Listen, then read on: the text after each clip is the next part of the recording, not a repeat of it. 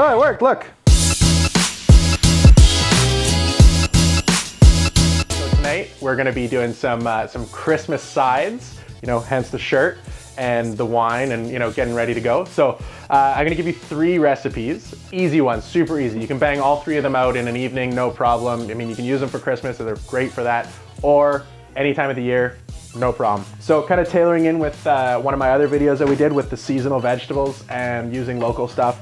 Uh, we're gonna do, the first recipe is gonna be with uh, some butternut squash. So you can sub, um, you know, any other type of squash that you like, kabocha squash, uh, acorn squash, any anyone that your favorite or that you get from uh, your local farmer's market, whatever they have at that time. I like to peel them. I mean, there's a few of them that you don't really need to peel. Like acorn squash, if you roast it really nicely, uh, you, know, you can eat the skin. Same with butternut squash, but uh, for this application, we're gonna peel it, okay? Some for the chef.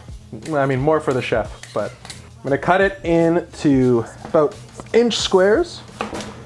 Nice and rustic. Again, this is just a super, super simple, fast, easy side dish that you can do with anything, whether you guys do turkey, whether you do ham, whether you roast, whatever you do for your Christmas dinners, this is gonna please everybody that comes. And also like great dishes for vegetarians too. So we got our diced squash, a little bit of balsamic vinegar, a little bit of olive oil, some salt, two cloves of garlic. I'm just gonna give these a little crush. That's it, just like that. Throw it in the bowl, bit of toss, a little bit of rosemary. Again, like I said, super rustic, super fast, super easy. Things that will please everybody. Go with anything. Okay, we're gonna just put them onto a baking tray. And I've got my oven preheated to uh, 350 on convection. And uh, you can just do it with roast, whatever, if you don't have a convection oven, or do the same thing. So to go with the butternut squash as well, what I've got is some actually local BC hazelnuts, okay? So, shit. BC hazelnuts, in my opinion, are absolutely delicious, and like, you can get them all over. I've got these ones, uh, they've still got the husk on. I'm gonna roast them with, with the shell. Same temperature oven, same everything. You can do them at the same time that your squash is roasting. Easy peasy. Uh, so we'll just get those ones in the oven too. So we have our roasted hazelnuts. You can buy hazelnut crackers and they're very good. Uh, I have misplaced mine. So I'll show you another way because most of you probably don't have one. Okay, just a few. I'm gonna put them on here and I'm just gonna show you how to crack them in a bulk amount with, with a pot. okay, cover them up. Gonna make some noise, all right? Oh shit.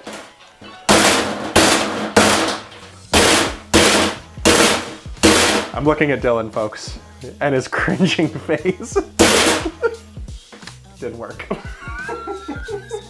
the counter has too much flex in it. Fuck. See, look, all five of them cracked there. Look, look, come here, come here. No, come here, okay? See, this is what I'm talking about. Right counter for the job. There we go. All right, so we have our beautiful roasted squash. Again, you can check it, just take your knife, Oh yeah, nice and tender all the way through. Just wanna make sure that it's not super hard, obviously, right? Nice cooked, uh, golden brown. Move the rosemary to the side, garlic to the side because we didn't take the husk off. I've already seasoned it. It's already got all the flavoring, all of the vinegar, everything, all the beautiful seasoning. And then these hazelnuts that I have here that we painstakingly cracked. Just right over the top. Super easy, guys. I mean, really, I mean, I think anybody could do that. It looks delicious.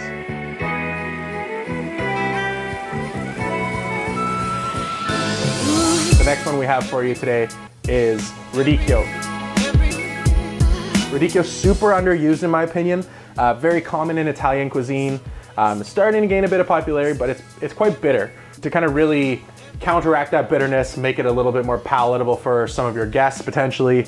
We're gonna add some sugar to it as well as some vinegar, kind of make it sweet and sour. In Italian, it's called agrodolce. We're gonna add a little bit of onion, a little bit of garlic. I've got some red wine vinegar and some sugar, a little bit of salt, really simple. Sliced onion, squash the garlic. I like to slice my garlic nice and thin. You don't bruise it that way. All right, so let's get the onions and the garlic going. I'm Gonna do this on medium heat. Get it nice and sauteed, translucent, just to add some depth. The next step we're gonna do, guys, is we're going to add some of the sugar and some of the vinegar. We are going to make, in culinary terms, what's called a gastrique. Um, it is going to just make this, like I said, nice and sweet and sour. So I'm adding about, for three heads of radicchio, let's go with like third of a cup of sugar, okay? Third of a cup of sugar, and we're gonna do equal parts vinegar. It's got one of these little stupid caps on it, so. All right, there we go. Okay, third of a cup. Exactly third of a cup. At that level of the bottle, guaranteed, third of a cup, okay?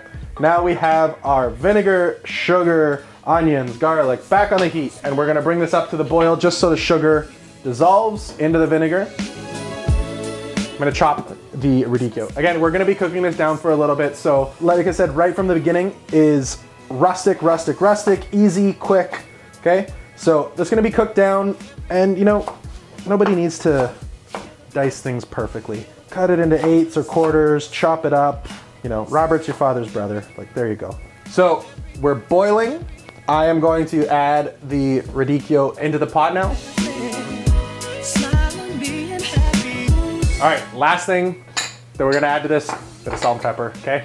You can add as much salt or pepper as you want. I tend to lean a little bit uh, more to the salty side. I've been, you know, eating and drinking for a long time and like things to be seasoned really heavily and, and I think that things taste better with salt. If you guys wanna leave a little bit of it out, like that's that's your prerogative. Do it. So with the uh, with the radicchio, what we want to do is we want to cook it down, cook out kind of the, the texture that it has. We want to make it nice and soft, but we also want the vinegar and the sugar to reduce down together and create this like nice rich sauce. We're almost there. You can kind of see we still have a little bit of watery liquid. You want that to reduce down to almost like a syrup. So it almost kind of candies the outside. It's gonna be sweet, it's gonna be sour, it's gonna be a little bit bitter. Again, like this is one of my favorite things ever. Like you guys are gonna love it, trust me, just, just make it fun. Okay, so I'm gonna get Dylan to come in here and show you this. See the, the liquid's reduced down to a nice syrup. So we're gonna have all that sweetness from the sugar. We're gonna have the, the harshness is gonna go away from the vinegar and it's nice and kind of candied, coated with all of the beautiful sauce. I don't even need this, think this needs a garnish. This to me is beautiful. Bitter, sweet, sour. This is delicious. Boom. Done. Let it snow,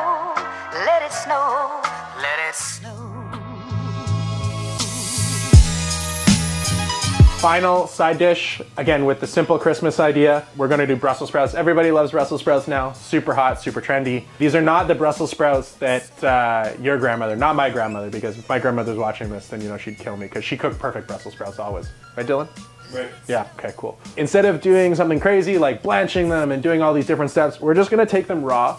We're gonna slice them really, really thin. And this dish is uh, another kind of Italian dish. You know, my heritage being Italian, I like those Italian flavors. A really traditional Italian dish called bagna cauda.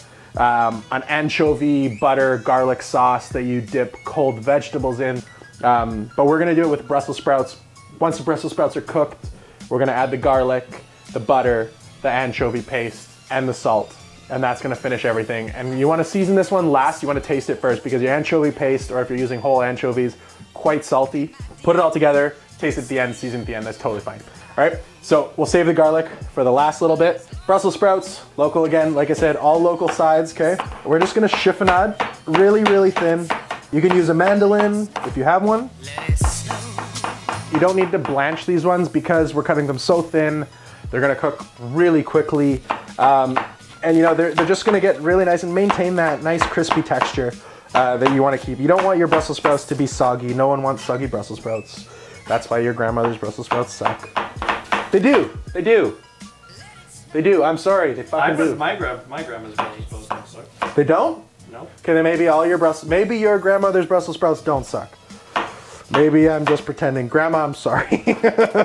so Uh, canola oil, don't use olive oil for this one. This is a super important tip. Don't use olive oil. Olive oil has a very low smoke point in comparison to a canola oil, a grapeseed oil, or a sunflower seed oil. Those are the kind of oils that you want to use when you're sauteing or uh, caramelizing things at high heats. It will limit the amount of smoke that you have in your kitchen and probably piss your neighbors off less, hopefully. Or if you don't like your neighbors, then fuck it, use olive oil. Just don't. I mean, it'll taste burnt, okay? Brussels sprouts are sliced. Like I said, we're gonna add these things later, the garlic, the anchovy, and the butter. We're gonna add those last. Um, so this is the point in the video when you wanna make sure that you have your hood vent turned on default. It's gonna get a little smoky because we wanna get quite a bit of color, high heat. We wanna brown the Brussels sprouts really nice. That's where you're gonna develop that nice rich, nutty flavor. And that's what's gonna make your Brussels sprouts not just taste like cabbage, they're gonna taste delicious. Dear, we're still goodbye. Brussels sprouts, caramelized, ready to start finishing this one off. Next step, this is important too. I want you to make note of this one. We're gonna add the garlic now. Your pan's still really hot. I'm gonna turn the heat down to medium, remove it just a little bit so it cools down. We're gonna add the garlic, slightly cook the garlic. We don't wanna burn it. Burnt garlic has a really bitter flavor. Uh, so we're gonna add the garlic in now. Okay, next step guys, we're gonna add the anchovy paste. Probably like a teaspoon, I guess. You don't want it to be too, too salty, but you just wanna add that nice kind of anchovy, salty deliciousness, umami to everything. Okay, so now what we're gonna do, right before we add the butter, we're gonna add a touch of water to the pan. This is gonna just kind of stop everything from cooking, cool the pan down slightly, and give it a little bit of moisture that's gonna allow us to kind of emulsify the butter into the Brussels sprouts and make a little bit of a sauce. Rather than just having melted butter and Brussels sprouts, you're gonna have a kind of homogenized mass that's gonna go coat the Brussels sprouts because who doesn't want butter coated Brussels sprouts? So we've added the water. Now what we're gonna do is I've turned the heat off. Now we're gonna add the butter. This part's really important too, guys. What you wanna do is you're just gonna add the butter into the pan and you're gonna constantly keep it moving, stirring, tossing, whatever you wanna do. You wanna coat everything really well, emulsify that butter into the little bit of water that we added. It's, like I said, it's just gonna coat everything really, really well and give you this beautiful, rich, elegant sauce that's gonna coat your Brussels sprouts. and my dear, Brussels sprouts, bagna cauda. We got the caramelized Brussels sprouts, anchovies, butter, garlic, deliciousness. No garnish on this one. You can if you want. You can put whatever you want. Some toasted pine nuts on top will be nice. Maybe a little bit of Parmesan cheese if you wanted to. I'm just gonna go natural. Simple, easy, delicious. That's what we're going for.